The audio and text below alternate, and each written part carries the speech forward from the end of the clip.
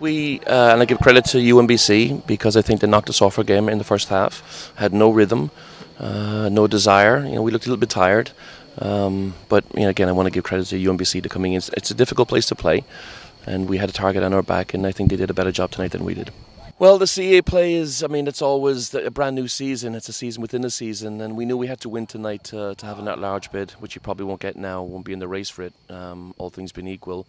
So the conference is the conference. We're playing Wilmington, who are having a great season. I think they're five and six and one. Um, and they'll be looking to maintain that record at home and get off to a good start. So it's a critical game for us. It really, it's all about the conference now, and, and we have to get ourselves up for that.